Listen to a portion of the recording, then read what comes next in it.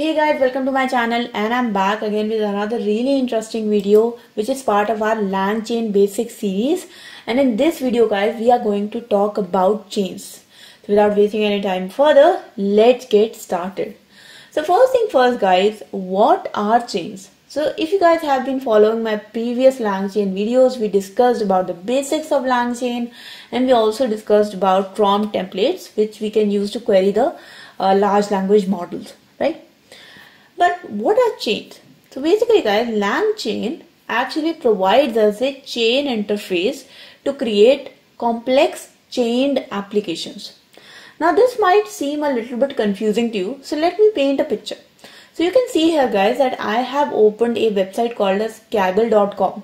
So consider it something like this that a website do you think it is a individual component that is being rendered here? The answer is no. Uh, so an application something uh, like of a web application actually comprises of three basic components.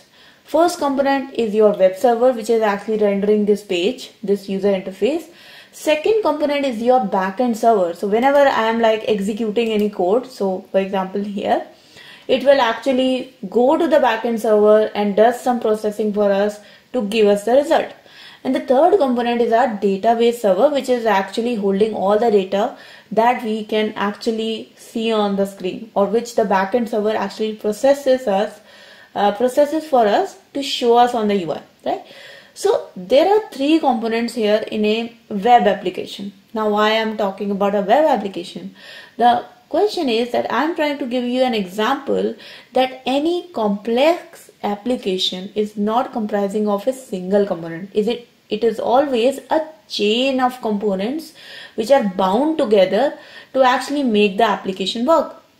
And to actually uh, create the same scenario in our LangChain world in large language model world LangChain provides this feature to have a chain interface that can, that can actually bind or combine the multiple components together to create a single very powerful application okay? So for example here we can say that we can create a chain that can take a user input that can format a user input with the prompt template and then pass it through a formatted response to a large language model okay? So you are uh, you know creating a chain of components to actually give you a better result. Now we can not only chain multiple components together you can actually create a chain of multiple other chains right? So you can have a nested chain where you combine multiple chains and you create a you know bigger component or a complex application.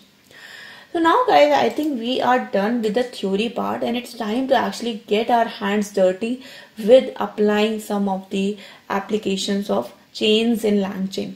So let's get started. The first thing first guys let's start with a basic example. Now the first thing with any um, LangChain tutorial or example is actually the imports, right? And the first import is always going to be our LangChain model or large language model import that is OpenAI. Now we are always going to uh, combine certain things together and one of the thing is our large language model with our prompt template. So we also need an import of a prompt template, right? So I'm just going to execute this code here. Now we have our imports in place. It's time to actually initialize our model and our prompt template. So here I am using a basic large language model. So you can see this is a basic large language model and I am creating a basic prompt template which is basically uh, asking a question that what is a good name for a company that makes a certain product. The product is the input variable which is passed to us by the variable name product okay? Now let's execute this code because now after the execution we have our large language model and we also have our prompt template. So as I gave you the example before it's time to combine these two components together. So now we have to actually create a LLM chain a LangChain chain which can combine the model LLM and my prompt together to give us a better answer. So for that also first thing we will do is we will import the LLM chain. So LLM chain is the interface which is provided to us by LangChain. Now once we have imported it, it's time to actually create our first ever chain. Okay. Now let's name it chain becomes equals to LLM chain. Now you can see that as soon as I hit the bracket, it is actually giving me uh, IntelliSense suggestions to initialize my first chain object. And the two things that I have to pass inside this object is my LLM model. So LLM equals to LLM because we have already you know, initialized this LLM model here. And prompt is equals to prompt.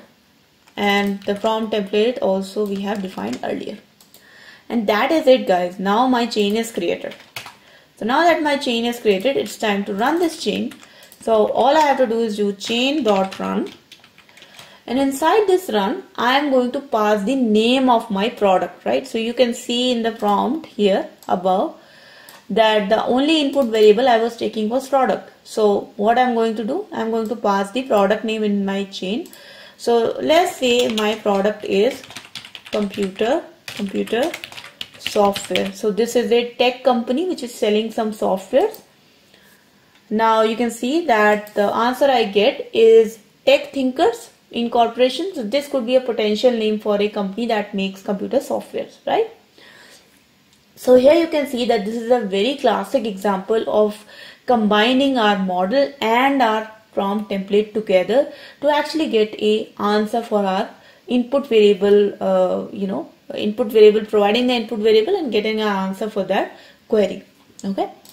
Now uh, let's go and do a certain other example. Let's say we have a prompt template that is having multiple variables. So something like that. This template is having two input variables where we are saying what is a good name for a company that makes a product. Okay so we are also giving a certain description of the company in this company variable and we are also uh, giving the product name okay? So what is a good name for a company that makes products? So either you can give the uh, type of the company or you can give you know what is a good name for a factory that makes a product or what is a good name for a company that makes a product. So basically this variable you have to fill. Now once our prompt template is configured I am going to create the same LLM chain again. So this is my chain again. And now it's time to run the chain. But in this time, you know that I have got multiple input variable. So because I have got multiple input variable, I am going to pass those variable as a dictionary. So the first thing is product. So let's say this time my product is laptops okay? And this time the type of my company is that it is a computer hardware company. So it is a computer hardware company that makes laptops. So what should be a uh, you know good name for that company? So computer hardware company that makes laptops so what could be a good name for that? Let's run this. And you can see that it gives the name that global laptop solutions could be a potential name for this particular company okay? So that was the basic tutorial of how to create chains uh, using LangChain, LangChain chain, the LLM chain API. I hope this video was informative for you guys and I hope you learned something from it.